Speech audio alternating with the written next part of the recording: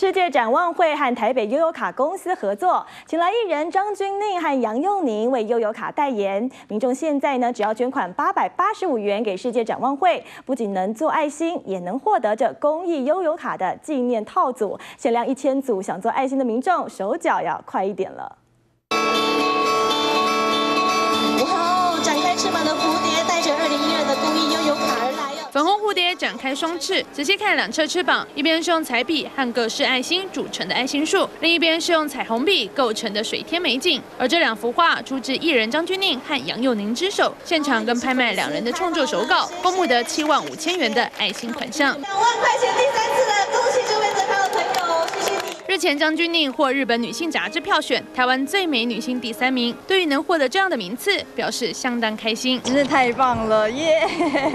我不能。用奥运为国争光，我也可以，就是以女星的身份为国争光。票选的前两名，那一个是好朋友嘛，然后林志玲就更不用说了。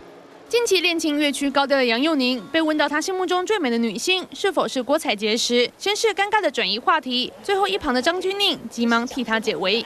采洁，她是可爱啦，可爱，就是漂亮。哇，都在你心目中的。在我心中，他也是超可爱的。台北悠游卡和世界展望会合作悠游八八五公益活动，请来艺人代言，民众只要捐款八百八十五元给世界展望会，就可以获得一组两张的悠游卡纪念套组，限量一千组。想做爱心的民众，手脚可要快一点喽！联合影音洪彩婷、郑义宇宁台北报道。